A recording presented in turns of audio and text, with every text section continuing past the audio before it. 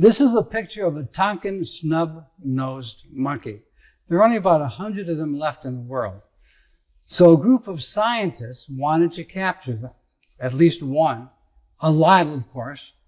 And so what they did is they devised a trap. And the trap was a bottle with an extremely long neck.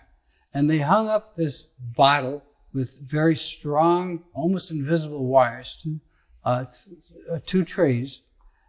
And in it they put the type of nuts that they knew this monkey liked. And sure enough, one of these monkeys came by and put his hand into the bottle to grab the booty, the nuts. But when he tried to pull his hand out with the fist being bigger than it was when it went in, he was trapped. He couldn't. Basically, the monkey had to make a choice. Leave the booty and pull his arm out or get trapped, which is what happened. And they, they caught him. The point, of course, is that so often we are not willing to give up something which has always worked. In this case, aiming at obedience instead of responsibility. We cling to things that has always worked clearly if after has stopped working. And the reason, of course, is society has changed and kids today are different than they were many years ago for a number of reasons of which we've talked about earlier.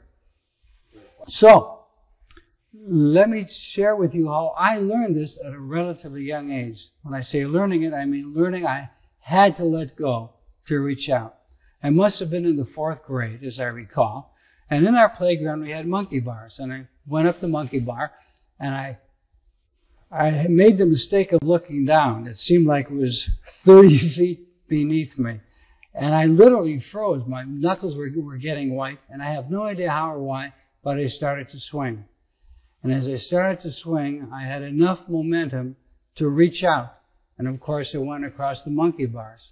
The point that I learned was that in order to move ahead, so often you need to let go. And as long as we continue to use counterproductive approaches, we're not going to be nearly as effective as we could be. We need to let go with, for practices that have always worked with former generations, but are not working today. Specifically, coercion.